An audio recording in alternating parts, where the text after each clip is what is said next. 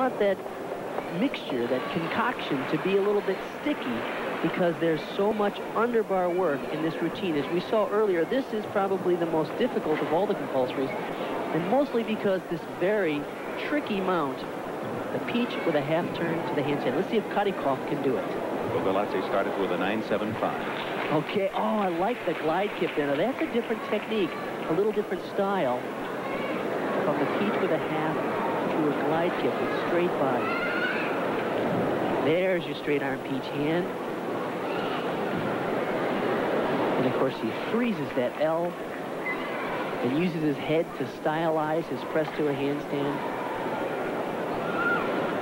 Back off with a half. Oh, one hop again. You know, I don't think they're really sticking the landings because they're so far ahead. They don't seem pressured to really nail everything. I think they know they're cruising. We should make the point again that when it comes to the optionals, they're not content to just do the average. They're really trying to force, redefine the limits of this sport. Very much like they're trying to do here. Look at that glide kick. We haven't seen that straight body glide kick action from any other gymnast, and that's another example of the Soviets not being pleased with just mediocrity. They want to show the world that they have new styles, new techniques, and they can do it better than anybody else. This is the man that put Valentin uh, Mogilny, Mogilny on, the, on the bench, the seventh man on this team. That's a nice look at the back off with the half. You can see you got to push outside the bars. Or you're going to be in trouble. 9-8-0 for the 17-year-old phenom, Kharikov.